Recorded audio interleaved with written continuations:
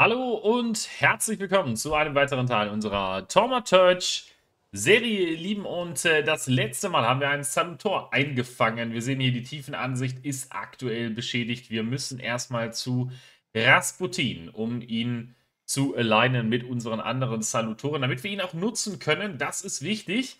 Ähm, deswegen steht hier auch geschwächt. Geh erstmal zu Rasputin, wobei wir jetzt natürlich direkt hier mit ihm sprechen könnten. Das wäre natürlich easy eigentlich. Ne? Komm, wir können mal ganz kurz an Viktor Schulski. Bitte kommen Sie schnellstmöglich zum Friedhof. Es ist dringend. Sokol, der Totengräber. Okay.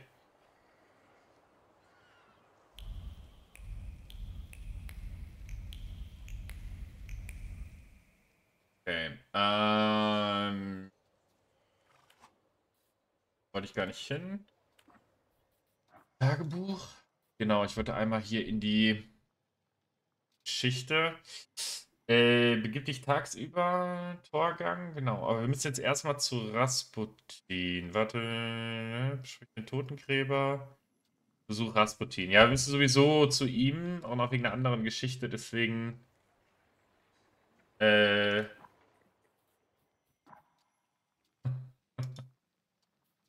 so. Das wollen wir gerne vorzugen. Also, mal. Suche Rasputin in der Powatskowska Straße 7. Schau mal, ich glaube, der führt uns hier ja, erstmal zu dem Wagen und dann, oh ja, da ganz oben.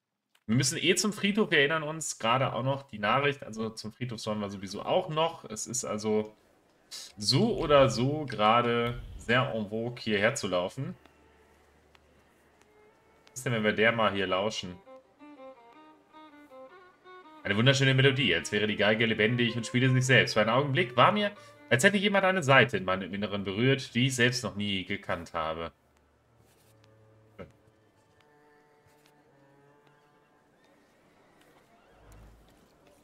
Bringt Erfahrung, ne? Also...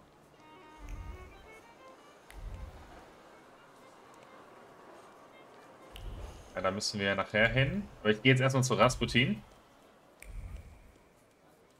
Rasputin.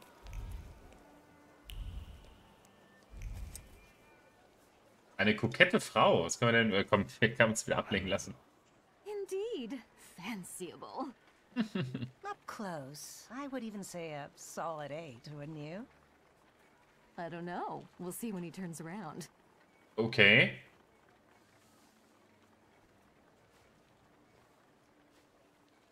Eight it is. Will you show us something more?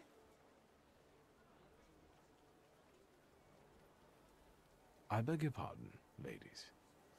Of course. Just walk away slowly so we can have a good look. ja. Aber trau dich das mal als Mann, ne? Das kriegen wir wieder nicht hin. Nein, alles gut. Uh, yes, sir? Yes, sir? Please let me in. It's urgent. You can't just turn up like this. What will I tell sir and madam? Fear not, I'm here for Rasputin. I can sense he's in a drawing room. So. Haben wir denn hier Dinge zu entdecken? Gucken mal ganz kurz, kann ich hier auch einfach rein? Kann ich. Lässt da mich tun. Hier rein komme ich allerdings nicht. Intriguing. Aber was? Einladung. Ein Stapel Einladungen zu Kaffeekränze Abendessen in Warschau gehobener Gesellschaft. Die neueste Einladung stammt von Gräfin Lermontova.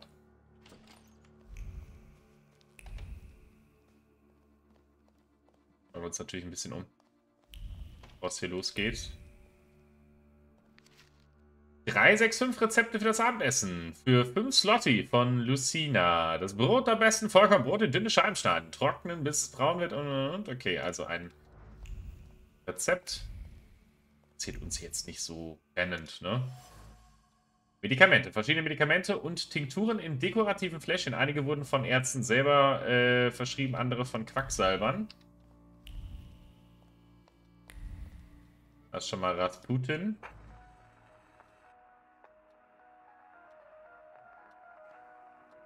Ja, die Frage, ne? Sagt man Rasputin? Rasputin ist, glaube ich, so, so typisch englisch. Parfümfläschchen, eine Fläche mit teurem französischen Parfüm. Sie ist ein Geschenk der Nadasinskis an Rasputin. Wahrscheinlich ist es ein dezenter Hinweis, dass er für alle besser wäre, wenn er seinen intensiven Geruch etwas kaschieren würde. Das Geschenk wurde entgegengenommen, beiseite gelegt und nie benutzt. Okay. Und dekorativer Fächer. Anielas zittrige Worte wabern noch immer um den Fächer. Entweder sprach sie zu sich selbst oder zu ihrem Ehemann. Sie beschwerte sich über ihre angeschlagene Gesundheit und Psyche. Die winzigen Windstöße des Fächers verschafften keinerlei Linderung. Die Familie Nadaczynski. Die Nadaczynskis sind gut situiert. Sie sind recht äh, wohlhabend und haben ein komfortables Leben und einflussreiche Freunde. Kein Wunder, dass Rasputin sie ausgewählt hat. Es scheint, sich ihre Gunst gesichert zu haben, indem er sich um Aniela gekümmert hat, die einen Nervenleiden erkrankt ist. Ja, also hat sich so ein bisschen die Not zur Tugend gemacht. So würde man Rasputin aber auch ein bisschen einschätzen, ne?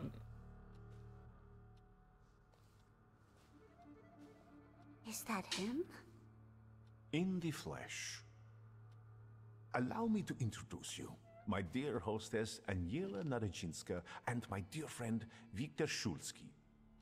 Your father had a beautiful funeral. Thank you. Was auch immer beautiful heißt in dem Zusammenhang. For today. Now I'll find out what brings Victor to us. Viktor Schulski. Wir sind da. Allah. But you were the one who phoned. Very funny. So, erstmal Hypnose brauchen wir. Actually, I don't feel great. Let's see what you brought with you this time. Close your eyes and focus on my words. Concentrate on my voice. Relax and focus within yourself. Follow my voice inside yourself.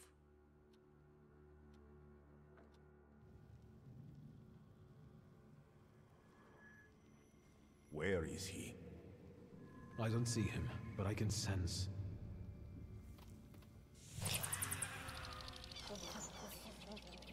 So that's how you want to play. That chirping of his is unbearable. Do you hear him? Good. That means you can locate him. Point him out to me. Focus on his song and show me where he's hiding.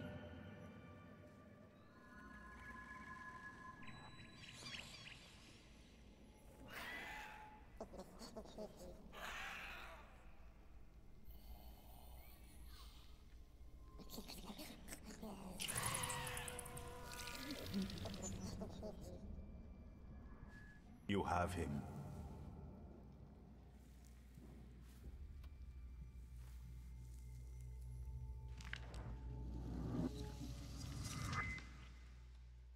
So, der Leck ist gezähmt.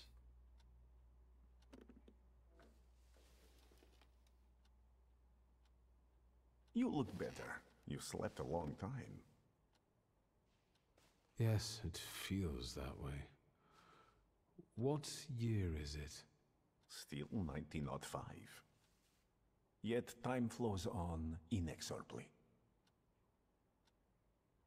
So, dann wollen wir jetzt mal die anderen Sachen klären. Herausfinden, wie lange er bleiben You möchte. look like you've made yourself at home. Are you going to be staying on here for long? No, I'm afraid not. They're kind people, but I've experienced another vision. Though not fully terrifying, it is troubling. Will you tell me about it? Later, what brings you to me? Have you known them long? No, but Aniela and Lucian are my two good souls. They took me, an impoverished preacher, in under their roof, and I'll never forget that. Are you helping them too? I am a balm for Aniela's frazzled nerves. But enough of that. Tell me what you need. Haben wir ja eigentlich schon. Ähm, Why ja. was she looking at me so oddly? What did you tell her about me? She's never seen a thaumaturge before. I only mentioned to her how we met. Can I help you at all? Nee. No, I won't bother you. We can talk next time. The Narazinski door is always open to you. Aber auch ein bisschen strange, ne? Also wir gehen irgendwie zu ihm hin, um irgendwie mit ihm zu reden und am Ende des Tages hat er gar keinen Auftrag für uns. Er hat uns ja angerufen, ne? Wir sind dann einfach wieder gegangen. Okay, gut, dann ist dem jetzt erstmal so. Ähm, wir können noch mal gerade gucken äh, nach Aufgaben, welche jetzt Priorität hätte. Äh, der Totengräber, das hat ja Priorität und der ist ja auch hier in der Nähe, ne? Also das heißt, da sollten wir relativ zügig hin. Genau. Jetzt müssen wir mal raus. War hier in der Nähe irgendwo. Ich frage mich immer noch, lassen wir mal ganz kurz gucken, wenn wir jetzt das... Natürlich. May I ask what you ladies are doing? What everyone does. We're evaluating. A solid eight? You know, on a scale from 1 to 10, you look quite spiffy, sir. Why are you schmoozing with some sucker who's already suited and booted for his own funeral? And you, lousy fop, got an itch in looking for some philandering at the Marble Orchard, are you? Six, five, zero. There's nothing here for you. Mr. Eight got some you know what, so he caught our eye. And vice versa, I can tell. Get ready for some shellacking, lads. We got a dandy looking for some extra ventilation. And, as luck would have it, not too far from the orchard either. Sir, you have the unique opportunity of becoming a 10. Ah, jetzt müssen wir kämpfen. Ich wollte es ja unbedingt wissen, ne? Ähm, ja, wir verbessern mal eben die Tamaturgie tatsächlich. Ähm... Schauen. So.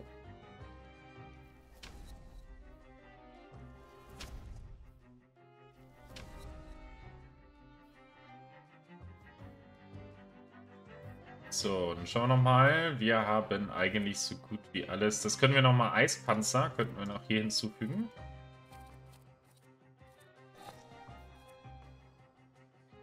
Dreier haben wir noch nicht. Ansonsten passt es erstmal. Dann lass uns den Kampf beginnen.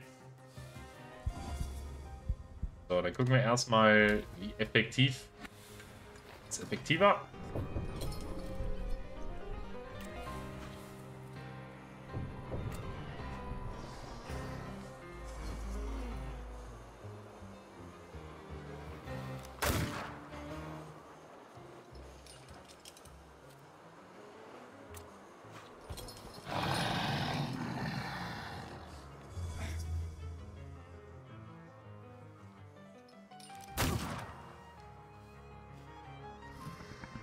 Uns ganz schön was eingehandelt hier.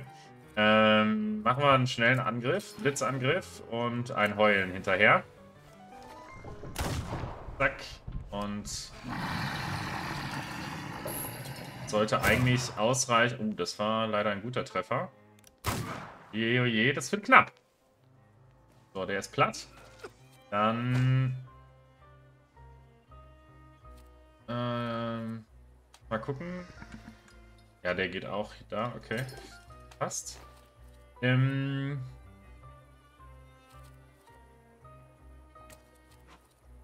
Ich hätte gerne eigentlich mal wieder Lebenspunkte zurück.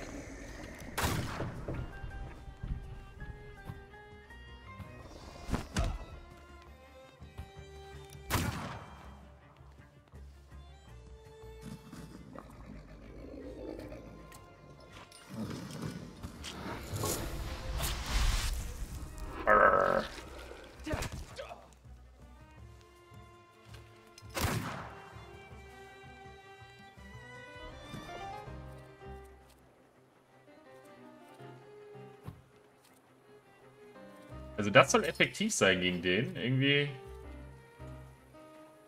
verringert den Fokus. Ne, machen wir nochmal gepeinigt. Untergang.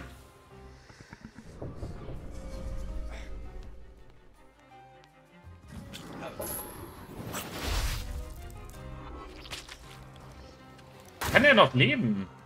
da los? So. Der letzte. Äh, da brauchen wir ihn hier. Jawohl. Geht leider nicht. Wir haben wir ganz schlecht.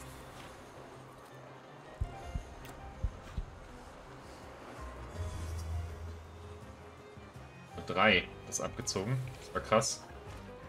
So, alle Feinde besiegt. So, sind wir jetzt... Hallo? Damen, können wir weiterreden? Okay, wir wollen, anscheinend hat die das nicht genug beeindruckt oder so. Ich weiß nicht. So, dann gehen wir mal hier zum Totengräber. Der ist das, glaube ich, ne? Get a steak for when your life is at stake. Make any vampire quickly retire. An aspen steak for you, sir? Premium wood, carved at midnight on the solstice. They're cheap. Gegen Vampire. Vampires? I don't think so. What do you mean? The dead rising at the cemetery? They must be vampires. Vampires are salutors attracted by blood and sizzling passion. There's nothing interesting for them among the dead. It's what people believe that matters. The steaks are exquisite, I must admit. What else do you sell? Holy icons, miraculous Marys, salt, Table salt? consecrated. But the stakes, I tell you, sir, ever since they buried the magician, they've been selling like hotcakes. Anyone with some sense buys them. Do you believe in all of this? I believe in money. And if people are willing to buy a stick out of fear, then who am I to argue? This buried magician, is it Shulsky? I think so. It makes no difference to me what his name was. For him, stakes are not enough. we need to call the Pope. Don't tell anyone or I'll lose my livelihood. Goodbye. I hope the vampires don't take revenge on you. They have no interest in me. I'm anemic. Please, tell your friends. On Wednesdays, I sell four steaks for the price of two. Perfekt. Aber das war, glaube ich, nicht der, den ich hätte sprechen sollen, ne? Äh, Ich glaube, der ist hier irgendwo. Genau. What is this foolishness? Open this gate! Right. No one can keep us from entering the cemetery. It's a free country. Well, How long are you going to keep wagging your chins? If it's closed, it's closed! Oh, Mr. Schultzky, finally. Okay. Ähm, I read your message. What is it about? ah, I won't talk about it out here in front of these boors. Come inside. You're letting him in, Gravedigger? What the hell is going on? what the hell is Shut going your mouths or? I won't open till Judgment Day. This is about your father, you know. All right, let's see what this is about. Bah! Ah. Bur. Bur kenne ich sonst aus dem Bayerischen für Bube, also für Junge. Two pieces of news, so to speak. There's bad news, and I'm not sure what the other one is. Which do you want to hear first? Tell me the bad news. Today some rebel rousers came here and started making trouble. They ravaged your family tomb. What do you mean, ravaged? I couldn't believe it either. I sent you a note immediately. What about the other news? One night, I went out and saw the dead lying around. But not in their places, you know? In the pathways. And then I saw their graves dug up, as if the dead crept right out of the ground. And these bodies are still lying here? No, of course not. You can't do that. But if you want to learn more about the case, they might come out again tomorrow night. People are starting to talk about resurrections and the end of the world. Resurrections and now these maniacs. Judgment Day seems to be upon us, you know? Fragen wir nach. Vandals that ravaged the tomb. What did they look like? I closed the gate because they're still hanging around there. Why don't you see for yourself, you know? Okay. According to my knowledge, dead bodies don't rise on their own. Were there any witnesses? Any noise at night? Traces? Nothing. Just the stiffs in odd places. Goodbye. Get rid of this scum at once. So, dann schauen wir uns das Ganze mal. Ärger am Familiengrab. Also hier geht es ja schon weiter. Nachruf.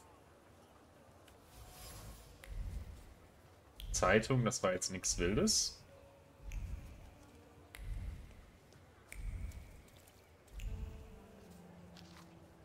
Notizen zu einer Predigt. Es ist schwerlich zu übersehen, dass sich schädliche Marotten und Unterhaltungen aus dem Westen unter unserer Jugend verbreiten. Und das direkt vor unserer Nase. Ich spreche zu einem von jenem, äh, von jenem berüchtigten Lehrer, der Lektionen in rasend zuckenden Anfällen erteilt und dafür auch noch dreist Geld annimmt. Dank einiger wachsamer Gemeindemitglieder und mein, äh, meines eigenen Einschreibens wird diese schändliche Moralverfall jedoch, Moralverfall jedoch nicht bald ein Ende haben. So, Notiz zu einer Predigt. Okay. Also wir schauen uns hier noch ein bisschen um. Wir waren ja schon mal auf dem Friedhof, aber es gibt ja anscheinend neue Hinweise, eben aufgrund der Randale, die da vor Ort war. Da muss man sich ja schon ein bisschen mal auch von den eigenen Dingen hier überzeugen und nachsehen.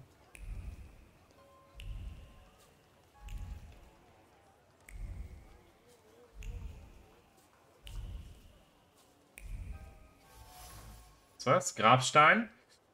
Äh, auf dem leichenkalten Grabstein hat der Totengräber Worte des Gebetes hinterlassen. Und eine Sorge auf dem Marmor. Die Sorge, dass die Toten nicht wie von der Natur gewollt in Frieden ruhen. Es ist ein Vorbote der Apokalypse, der dritte diese Woche. Ja, wir gucken nochmal ganz kurz, ob es hier sonst noch etwas gibt. Dann würde ich umdrehen.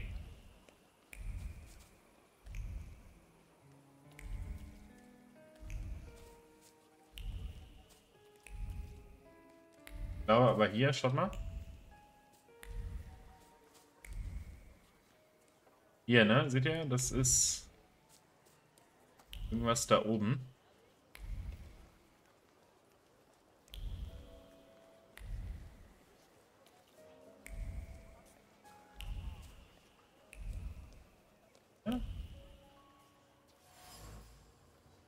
Grabmal. Es erinnert, äh, erinnert sich an die Zeiten der Aufstände und äh, Cholera-Ausbrüche. Eine frische Spur von Schmerz erhebt sich über andere Erinnerungen, die sich der Statue eingeprägt haben. Die zitternde Hand des Witwers, die nach Halt sucht. Ihre Vibrationen durchdringen die Ziegel mit einer Mischung aus Abscheu und Trauer, verursacht vom entsetzlichen Anblick des Leichnams seiner kürzlich begrabenen Frau, die auf ihrem offenen Sarg hockt. Ah ja, okay, hier ist offensichtlich...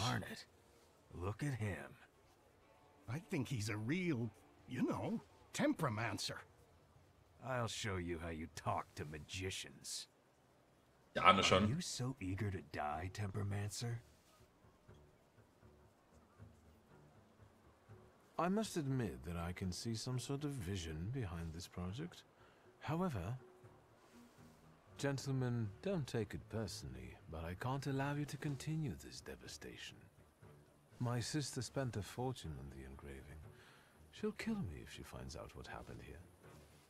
Then she'll have to get in line. Okay.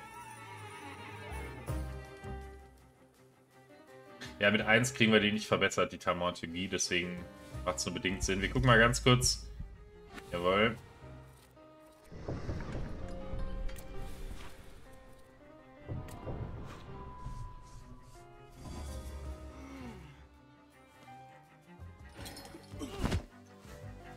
Peinigen hilft immer sehr, muss man sagen.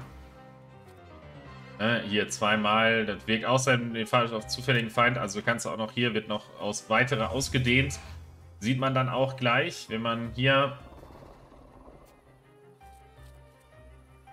Ah, so. Ja. Total.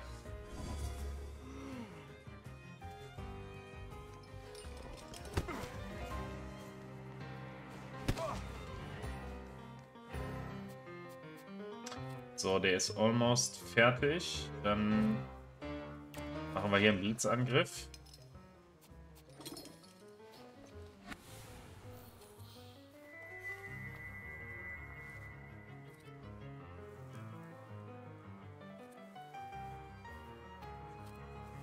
Hat der irgendeine Fähigkeit? Ah ja, der hat Widerstand.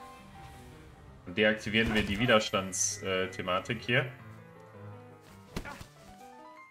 Wie kann der denn jetzt... Wie kann der überlebt haben, den Angriff? Das kann gar nicht sein. So, okay. Sagen. Hm.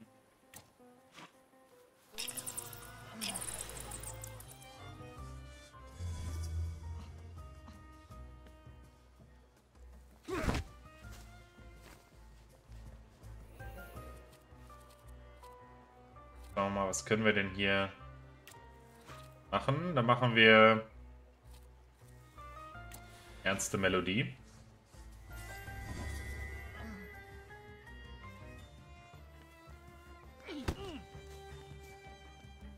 Müssen vorsichtig sein, dass bei uns die Dings nicht ganz weggeht.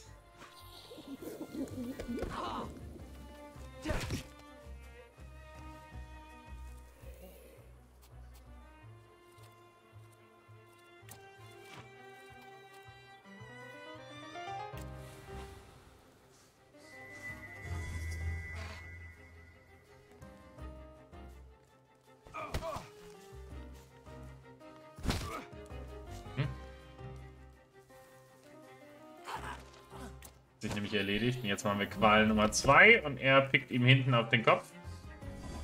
Dann, dann.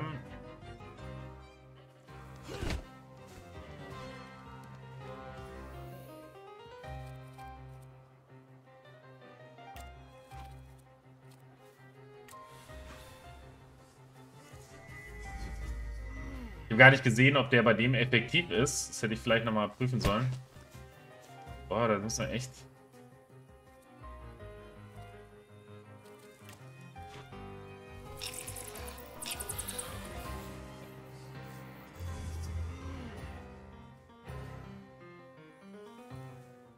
Der ist nämlich jetzt komplett. Jetzt gehen wir auf Bam, Bam, Bam. So. Plus 4. Und...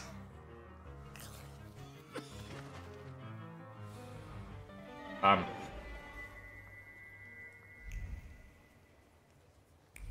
Let's take a look around. Let's take a look around. So, dann schauen wir mal. Also, weggeworfene Brechstange. Ungeschickte Versuche, das Grab zu öffnen, sind gescheitert. Ein grobes Werkzeug, so grob wie sein Benutzer. Der Stahl halt wieder vom Wunsch zu zerstören, was seltsam von Magie befleckt und anders ist. So ist die...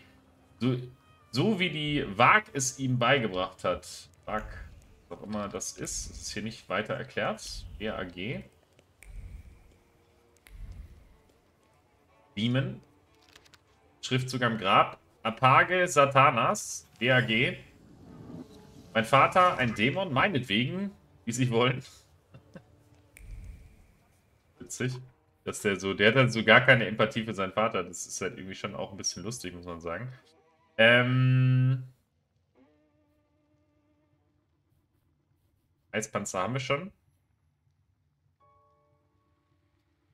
Was mich noch mal interessieren würde, ich meine, das sind ja jetzt so Fähigkeiten, die sind ja in dem Sinne etwas wertiger als die Fähigkeiten, die wir bisher hatten. Ne? Also jetzt äh, Versteifung, offensichtliches Ziel, lähmende Wunde zum Beispiel. So. Ne? Offensichtliches Ziel haben wir zum Beispiel noch nicht eingesetzt, Versteifung haben wir auch noch nicht eingesetzt. So. Bisher haben wir hier Adrenalinrausch drin. Das war ja eins der ersten Sachen, die man hätte auswählen können. Vielleicht ändern wir das einfach mal und nehmen hier noch die Versteifung rein. Lähmende Wunde. Eispanzer war auch relativ neu, meine ich. Dann könnte man natürlich so mal schauen. Hier, Eispanzer ist relativ neu. Adrenalinrausch war eigentlich auch noch relativ neu. Blutige Belebung. Wir haben jetzt mal die drei genommen hier. Kann bestimmt nicht schaden. Das sind die neuesten. Und ähm, hier können wir weiterhin aktuell leider, muss man sagen, noch keinen Dreierangriff starten. Aber Also wir sollen jetzt warten, weil wir nachts den Friedhof besuchen sollen. Dafür müssten wir ausruhen. Das werden wir im nächsten Teil machen. Ich hoffe, es hat euch wieder gefallen und wir sehen uns im nächsten Teil. Bis dahin, euer Kind Trio. Ciao, ciao.